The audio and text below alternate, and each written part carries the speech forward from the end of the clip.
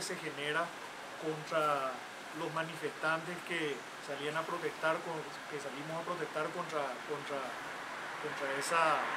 iniciativa impulsada por el, por el gobierno, por el presidente Cartes y sus aliados, eh, que dejó serios heridos. El hecho este, más grave, inclusive,